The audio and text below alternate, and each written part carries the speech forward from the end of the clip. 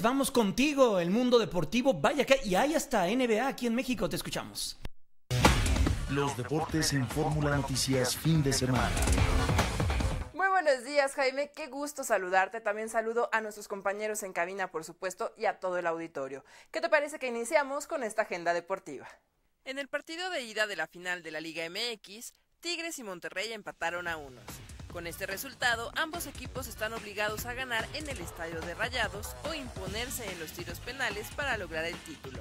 Nicolás Sánchez abrió el marcador para Rayados al minuto 9, mientras que Ener Valencia de penal empató el encuentro al minuto 26 para los Tigres. Así que no se pierdan esta edición del Clásico Regio en una gran final el día de mañana a las 18 horas. En el básquetbol, la NBA está de regreso en la Ciudad de México, esta vez con los Nets de Brooklyn jugando de local.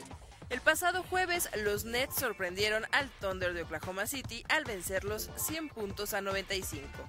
Hoy habrá más actividad de la NBA en la Ciudad de México con el partido entre los Nets de Brooklyn enfrentando al Miami Heat a las 17 horas.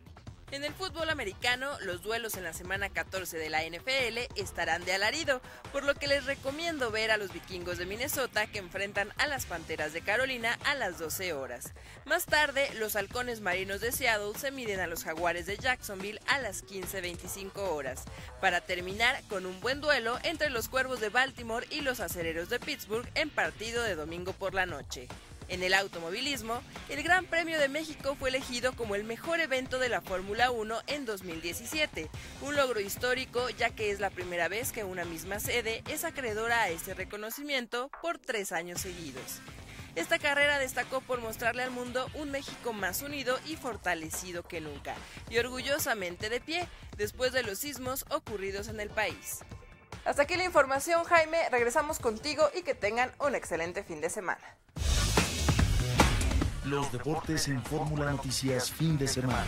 Gracias a Inés Torres. Sí, es importante nuevamente lo del Gran Premio de México por tercer año. Alejandro Soberón debe de estar sumamente orgulloso del esfuerzo que está haciendo. ¿eh? De verdad, en buena medida, este éxito que tiene el Gran Premio está encabezado por él y por la gente que trabaja alrededor del Gran Premio. Autoridades del gobierno de la Ciudad de México, autoridades del gobierno federal, en particular de Enrique de la Madrid, que ha